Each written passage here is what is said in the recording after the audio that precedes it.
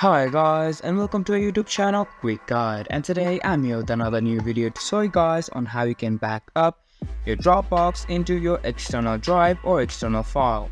To do so simply go on to your Google Chrome browser and search for dropbox.com. From there on just simply search for Dropbox and log into your Dropbox account. After logging in into your Dropbox account, you can see that you'll be on the home page. From here, click on this grid option on the top right hand side of your screen. After that, you'll be able to see all of these options. Go on to the backup option.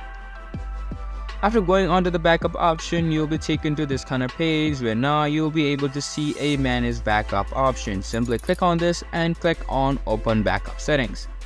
After that, this kind of pop-up will appear. Simply click on open Dropbox. Here I have already opened it like so. And after opening up, simply click on the PC for Dropbox backups here. You can also see a add a backup option where you can see it is written plug in an external drive or install a Dropbox on a additional computer in order to actually back up all of your data of your Dropbox into your external drive.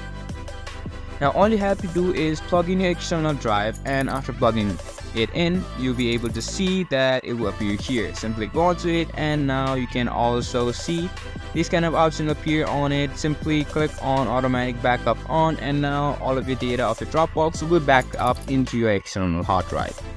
This was for this video and that is how you can back up your data of dropbox into your external hard drive I hope you guys find our video helpful. If you do, make sure to leave a like, subscribe to YouTube channel and hit the bell notification and don't forget to drop a comment for review and for more content like this.